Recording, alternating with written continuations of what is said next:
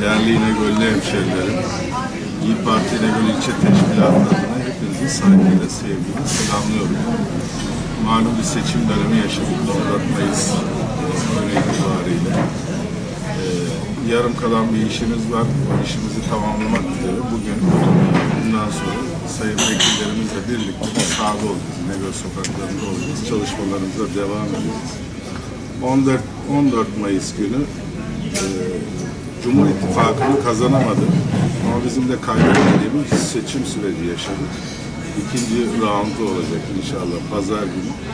Pazar günü Millet İttifakı olarak adayımız Sayın Kemal Kılıçdaroğlu Cumhurbaşkanı seçim bu yarışı da bu seçimde noktalamış olacağız. Ee, İyi Parti olarak Bursa'da iki tane milletvekilimiz var. Birinci bölge milletvekilimiz Sayın e, Selçuk Türkoğlu. İkinci bölge milletvekilimiz Sayın Hasan Kutbaş olmak üzere. Ee, bu dönemde yine 29'undan itibaren de Eylül'ümüzde hem Bursa'mız için hem ülkemiz için de çalışmalara devam edeceğiz. Ben e, bu vesileyle Sayın Milletvekillerime yeni görevlerinde başarılar diliyorum. İnşallah memleketimiz için hayırlı görevler yapacaklardır diye düşünüyorum. Kendilerine çok güvendiğimizi de ifade etmek istiyorum. Ve sözü birinci bölge milletvekilimiz Sayın Selçuk Türkoğlu'na bırakıyorum. Hadi. Öncelikle çok teşekkür ediyorum. E, sizler de hoş geldiniz. İlçe başkanımız, sayın vekilim, çok değerli adaylarım, genel idare kurulu üyem, e, il ilçe yöneticilerimiz. E, bugün e, 28'ine kadar devam edecek olan ikinci tur seçimleriyle alakalı e, milletvekilimizle birlikte dün Karacabey'de başlattığımız nasipse e, 28'ine kadar bütün ilçelerde tamamlayacağımız hem halkımızla ikinci turla alakalı buluşma hem de teşkilatlarımızla hem ikinci turla alakalı hem de 14 Mayıs seçimlerinin bir değerlendirmesi yapmak üzere buradayız. Tabii ki 14 Mayıs seçimleri öncelikle Bursa'mıza, ülkemize hayırlı uğurlu olsun. Ee, biz bugün e, Hasan Başkan'la birlikte e, Bursalıların, e, teşkilatlarımızın, üyelerimizin bize vermiş olduğu yetkiyle Bursa milletvekili olarak dün nasıl ki teşkilatlarda almış olduğumuz görevlerde? Gerek ben geçmiş dönem il başkanı olarak gerek sayın vekilimiz genel idare kurulu üyesi kurucularımızdan olarak 7-24 Bursa'nın, Bursalıların hizmetinde, alanda nasıl faaliyet gösterdiyse bugünden sonra da bize verilen bu görevin bilincinde ve şuurunda ve kutsaliyetine de inanarak e, öksüz bırakılmış, yetim bırakılmış Bursa'nın e, Ankara'da sesi olmak adına, e, onun temsilcisi olmak adına e, elimizden gelen gayreti sonuna kadar göstereceğiz. Tabii ki çok e, dengesiz bir seçim e, süreci yaşadık. İşin aslı şuydu, biz aslında iktidar partisiyle değil, bir nevi e, partileşmiş bir devletle seçim yarışı yaptık. E, örnek vermek istersek, e, Yenişehir'de bir program var, oraya gideceğiz. Baktım gündüzünde Sayın Bakan Mustafa Varank zaten bütün seçim süreci boyunca tabiri caizse yani e, eskiden e, mahallelerde e, ayı gezdirenler olurdu halka takıp e, ona benzer bir şekilde e, tok gezdirerek tok aracını gezdirerek sürekli bir propaganda yapıldı. Ve bunun neticesinde e, Yenişehir'e gidiliyor. E, tweet atmış kendileri. E, bakıyoruz top kullanıyor. E, arka tarafta da Bursa valisi Sayın Yakup Can Polat oturuyor. Yani devletin valisi eğer seçim çalışmalarına adaylarla katılacaktıysa e, bizimle de katılabilir. Neticede bizim de valimiz. Biz böyle bir yarış yaşadık.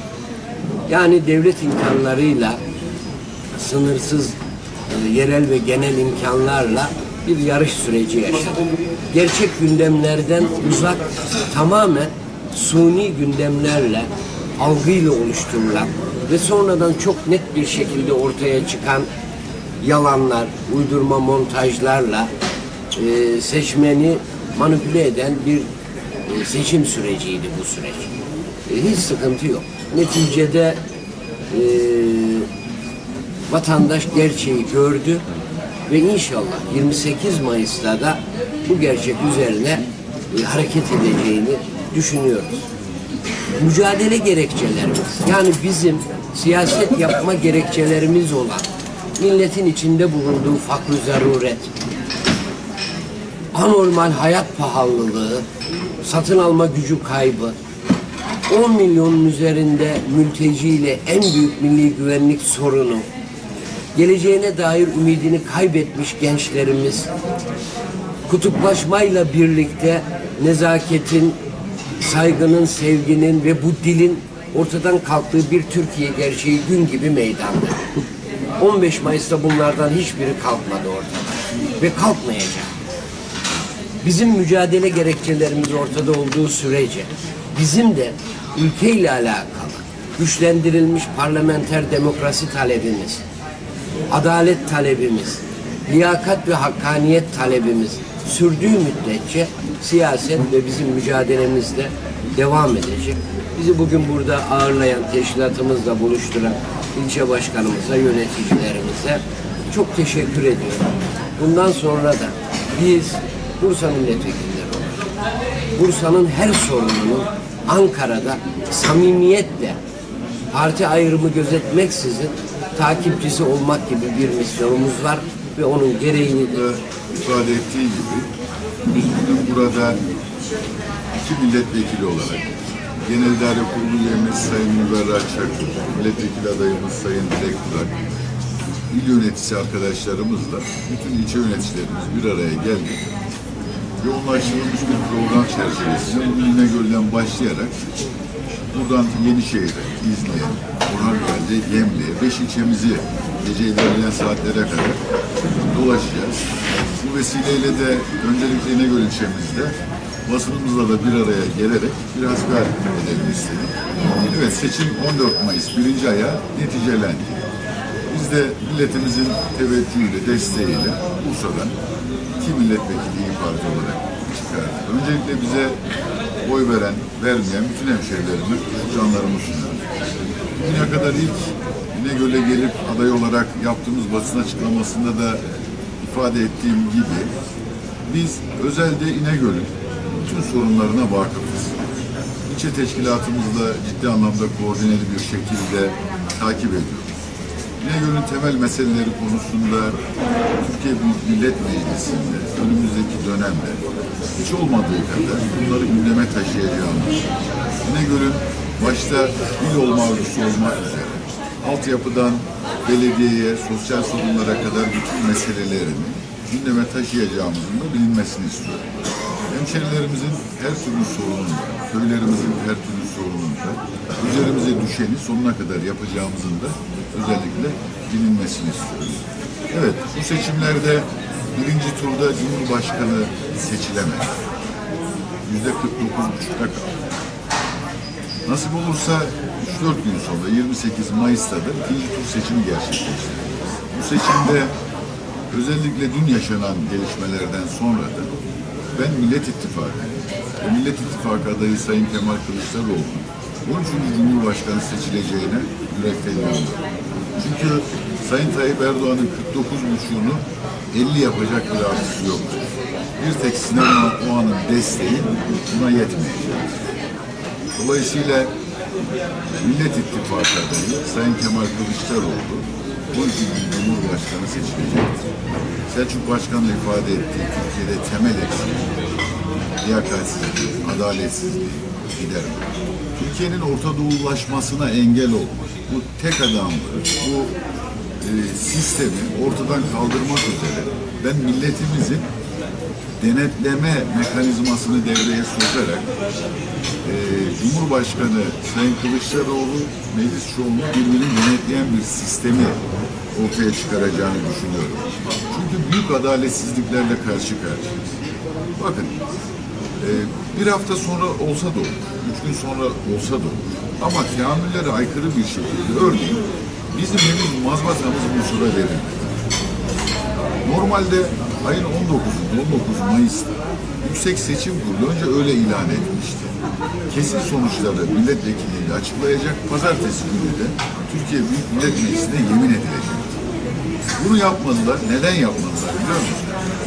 İki şey var burada. Birincisi, bakanların bakan olarak seçime kadar sahada aktif bakanlık yetkileri ve protokolünde kullanarak yine işte başkan izah etti.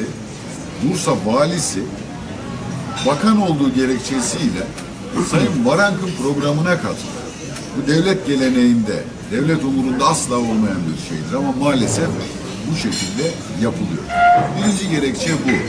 İkinci gerekçe nedir? AK Parti'nin kendi elleriyle Türkiye Büyük Millet Meclisi'ne kendi listelerinden soktuğu Gaffar Okka'nın katillerini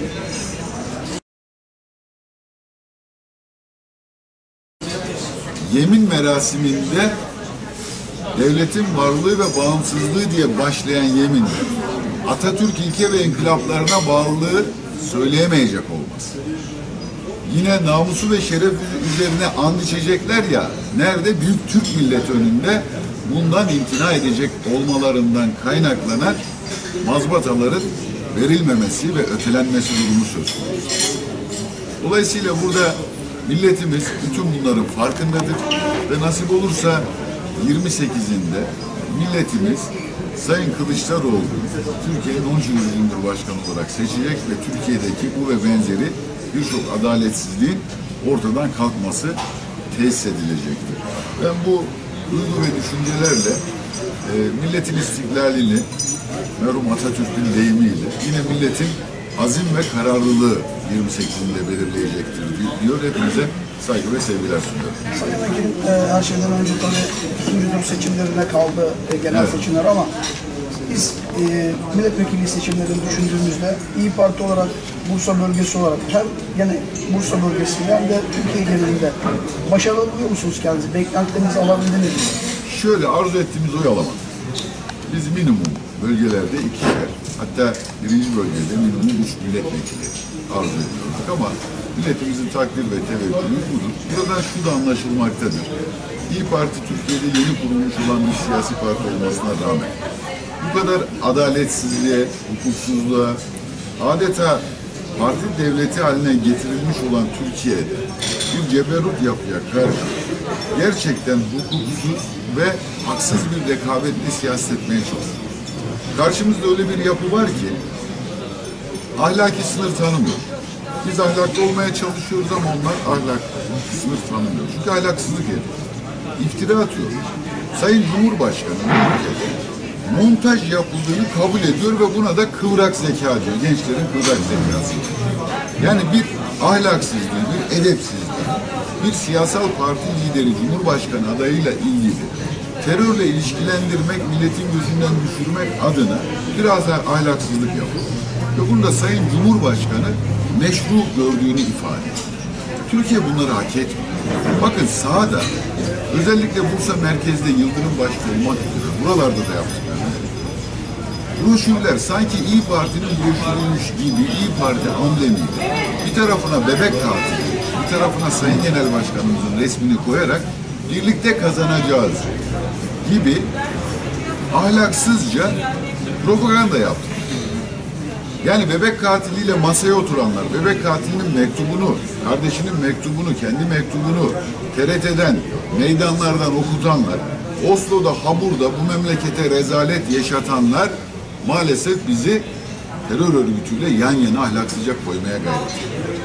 Bütün bunlara da baktığımız zaman İyi Parti kemikleşmiş, yüzde ona oturmuş bir parti olarak da İyi Parti'yi değerlendirdiğimizde bunu da bir başarı olarak bu haksız rekabet ortamında da görmemiz mümkün. Yoksa normal olan şartlarda bugün İyi Parti ve Sayın Genel Başkanı Meral Akşener hanımefendi Türk siyasetinde gerçekten siyasetin mahfil hakkı olarak toplumumuz tarafından kabul edilmiş, kabul görmüş ve minimum yüzde yirmi oy tabanına aslında partimiz gelmiş durumdadır ama dediğim haksızlıklar sebebiyle de karşılaştığımız sonuç. Sayın Türkoğlu'nun ifadesiyle yetim bırakılmış Bursa ya da yetim bırakılmış İnegöl için hizmet önceliğimiz ne olacak? Hizmet önceliğimiz şu olacak. Öncelikle İnegöl ve Bursa. Bursa vilayeti açısından genel anlamda değerlendirdiğimizde bunu hep ifade ediyoruz. Bursa nüfus olarak Türkiye'nin dördüncü büyük, ekonomik olarak üçüncü büyük, ihracat olarak ikinci büyük kentidir. Bursa ve benzeri İnegöl ile aynı oranda olmak üzere dış ticaret fazlası ver. Yani Bursa ve İnegöl modeli Türkiye'de olmuş olsa Türkiye aslında kişi başı milli geliri 20-25 bin dolara taşınabilecek olan yaklaşık 80-100 milyar dolar dış ticaret fazlası verebilecek olan bir ülke konumuna gelir. Şimdi burada bizim yapacağımız birinci öncelik Selçuk Başkan'la beraber Bursa'nın hakkını yaka tutmak dahil olmak üzere Ankara'da savunmaktır. Ha nasip olursa 28'inden sonra bu iktidar milletvekilleri olarak yapacağız. Bursa'nın hak ettiğini genel bütçeden Bursa'ya getirdiğimiz zaman Bursa ve İnegöl'ün çözülemeyecek hiçbir sorun kaldığını düşünüyoruz. Peki hakkı gelmiş olacak, ciddi kaynak gelmiş olacak. Dolayısıyla da birinci önceliğimiz bu hakkı maddi anlamda almak, problemleri çözmek. Şuna inanıyor musunuz? Yani Cumhur İttifakı tarafı Millet İttifakı'nın PKK ile işbirliği içinde olduğunu, siz de dediğiniz gibi kara propaganda var Evet. Kendinizi ifade edemediğinizi ya da bununla alakalı gerekli mücadeleyi gösteremediğinizi, seçmeni ikna edemediğinizi düşünüyor musunuz? Şöyle, şimdi bu kara propagandaya daha dayanmıyorum maalesef. Sabah akşama kadar devletin televizyonu dahil olmak üzere TRT'den söz ediyorum.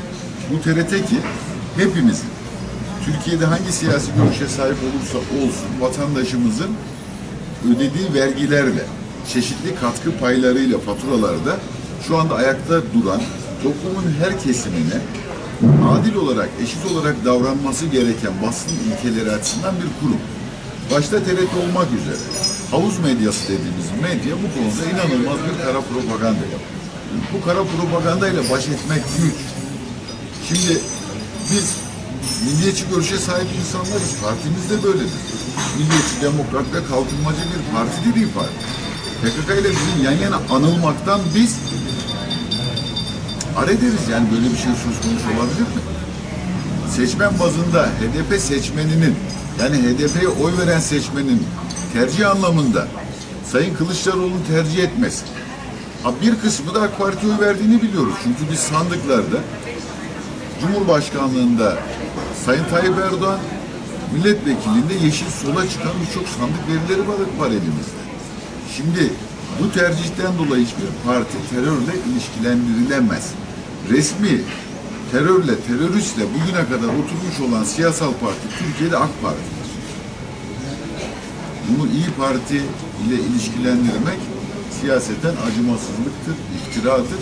Ha bununla da biz kamuoyunda dilimizin döndüğünce bunu anlatmaya, izah etmeye gayret ettik. Ama dediğim gibi karşımızda öyle ceberut bir yapı var ki devletin de tüm imkanlarını kullanarak bu kara propagandayı ve sahtekarlık yaparak, ahlaksızlık yaparak, bizim adımıza broşür basarak, sahtecilikle kamuoyunu yanıltmaya dönük çok ciddi hamleler yaptılar. Biz o ahlaksızlık ölçüsünde onlarla yarışamayız aslında. E, Beşli Masa'nın uzun süren e, ittifak görüşmeleri vardı. Ama maalesef son süreçte çok hızlı ittifak görüşmeleri oluyor. Bunlar ne kadar sağlıklı buluyorsunuz? Beşli nasıl altı? Altılı masa, işte 5 artı 1 ya da altılı masa. O şekilde yani altılı. şu an Ümit Özdağ'ın işte sizinle birlikte it- ittifaka katılması, Sinan Oğan'ın diğer tarafa destek vermesi gibi. Yani bunların son düzlükte çok kısa süreç içerisinde e, ittifaklara dahil olması ne kadar sağlıklı, nasıl değerlendiriyorsunuz? Yani şöyle iş ikinci tura kaldığı zaman e, üçüncü gelenlerin ilk iki arasında bir tercih yapması doğal bir süreçtir. Yapı olarak zaten kendileri de mevcut iktidara karşı muhalif yapıda olan insanlar. Dolayısıyla e, destek anlamında Sayın e, Ümit Hoca'nın, Ümit Özdağ'ın Millet İttifakı'nı desteklemesi çok doğal bir sonuçtur. Zaten temel ilkeler noktasında başta sığınmacılar meselesi, Suriyeliler meselesi olmak üzere bu konuda çözüm önerisi olan bu konuyu kısa sürede çözebilecek. Suriyelileri ülkelerine gönderebilecek irade Millet İttifakı'nda var. Bu konuda da Sayın Ümit Özdağ zaten bu konu Türkiye'de en çok dillendiren siyasetçilerden biri olarak tercihinin bu şekilde olması, anayasanın ilk dört maddesine bağlılık, e, Türk vatandaşlığı konusundaki temel ilkeler konusunda da mutabık e, kalınabilecek olan aslında ittifak ne? Millet İttifakı. Çünkü baktığımızda Cumhur İttifakı içerisinde geçmiş tecrübeleri de dayanarak anayasadan Türk kimliğinin çıkarılmasına dahil olmak üzere AK Parti'nin çok e, bu konuda ciddi sabıkaları söz konusudur. E, o yönüyle Ümit Hoca'nın da desteklemesini çok daha bir sonuç olarak değerlendiriyoruz. Peki şunu başkanım, e, özellikle İyi Parti'den ayrılan milletvekili veya bir dönem Milliyetçi Hareket Partisi'nden ayrılıp daha sonra İyi Parti'nin kurulması sürecindeki ortak olan isimlerin bu seçimde bu kadar son hamlede söz sahibi olması için ne diyorsunuz? Sinan Oğan bunların başında geliyor. Ayrıca de Ümit Hoca, Ümit Özdağ'la bunların başında geliyor. Bununla alakalı, milliyetçilik oylarla alakalı Yani söz sahibi olması derken dediğim gibi e, İyi Parti'de Gündemde olması kendini yani. tanımlayan tanımlarken Milliyetçi Demokrat Kalkınmacı olarak tanımlıyor. Tabii milliyetçilik dünyada yükselen bir değer aslında. Bu konuda e, yüzde beş nokta on yedide Sayın Sinan Oğan'ın almış olduğu oylara baktığımızda bunlar Sayın Sinan Oğan'ın kişisel destekle almış olduğu oylar değil. Ben Sinan Oğan'ın 49.5'u 50 yapamayacak düzeyde olduğunu biliyorum. Çünkü Sinan almış olduğu oyların ruh dünyasında yetişmiş insanlardan biriyim ben. Yani Sinan oy verme gerekçeleri ne olduğunu çok iyi biliyorum. Dolayısıyla bu oyların Sinan ardından mevcut iktidara yani Türklüğü ayaklar altına aldığını bir dönem söyleyen Sayın Cumhurbaşkanı'na gideceğini asla düşünmüyorum. Sahada da bunu görmüyorum. Onun için 49,5 bir taraftadır, 50,5 bir taraftadır. 28'inde Sayın Cumhurbaşkanı'nın 49,5'unu 50 yapma ihtimali Sayın Kılıçdaroğlu'nun 50 aşma ihtimali kadar yoktur. Bunu çok net olarak ifade edebilirim. Peki bu bakış açısıyla karşı tarafta da Ümit Özdağ'ın e, ciddi şekilde milliyetçi keskin söylemleri var. HDP seçmenin de ağırlıklı olarak Millet İttifakı'nı desteklediğini biliyoruz. Bu cepheyi nasıl e, etkiler bu süreç? HDP seçmeni bu Ümit Özdağ sürecinden rahatsız olur mu olmaz mı? Şöyle ifade edebilirim. Aslında burada e, ayrıntılardan ziyade milletimiz bu işi bir referandum olarak algılayıp somut bir şekilde bu sistemi oylayacaktır aslında. Yani Türkiye'nin daha fazla Orta Doğulaşması mı? Kadının çok özür dilerim mal gibi görülüp mevcut AK Parti içerisinde dar bir düşünce yönüyle vardır ama Hüdapar'ın düşüncesi net olarak budur. Kadını sahiplendirme gibi yani bir mal gibi çok özür diliyorum hanımefendilerden bir e, hayvan gibi kadını düşünen bir yapının ve bu tek adamlığa doğru giden, evrilen Türkiye'nin esasında oylaması yapılacak. Yani milletimiz bizim burada vereceği oylarla bu sistemi oylayacak. Partili Cumhurbaşkanlığı başkanlık sistemi yoksa güçlendirilmiş parlamenter sistem. Yani demokrasiyi millet saraydan alıp Türkiye Büyük Millet Meclisi'ne emanet edeceği noktasında bir kararlılık gösterecek diye düşünüyorum. Onun için hangi siyasi parti mensubu olursa olsun, hangi düşüncede olursa olsun birçok insanın bu yönde oy kullanacağını düşünüyorum. Onun için burada